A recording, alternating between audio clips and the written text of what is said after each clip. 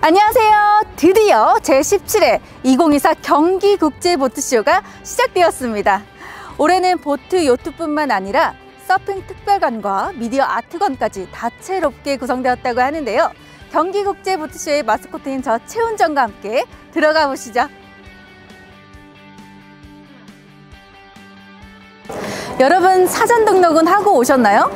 저처럼 사전 등록을 하신 분들은 무료로 입장할 수 있는데요. 제가 안내해 드리겠습니다. 네, 카카오톡으로 받은 메시지 하단 출입증 교환권을 클릭하시고요. 셀프 데스크에서 완료 화면에 QR 화면을 태그합니다. 그러면 바로 옆에서 이렇게 손목뒷 출입증을 받으시고 손목에 착용하시면 됩니다.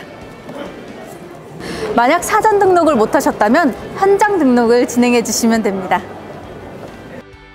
먼저 QR코드를 태그하시고요.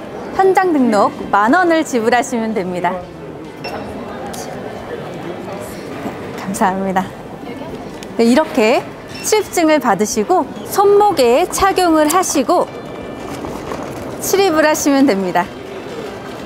경기국제보트쇼는 3월 8일 금요일부터 3월 10일 일요일까지 3일간 진행되는데요. 오전 10시부터 오후 5시까지 참관이 가능하시고 입장 마감 시간은 4시 30분입니다.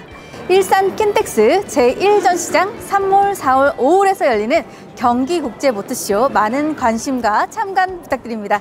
그럼 저와 함께 들어가 보실까요?